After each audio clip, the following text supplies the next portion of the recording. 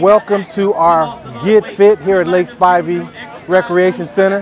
I'm Demont Davis, the commissioner here in District 4, and we're having a fantastic time with some of our sponsors. We've got one of our vendors out here doing orthodontic screenings.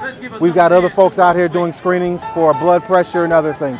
This is what we're about. We want to get everybody out here today just to come out and support and those that have come. So these are the things we're doing. This is about getting fit.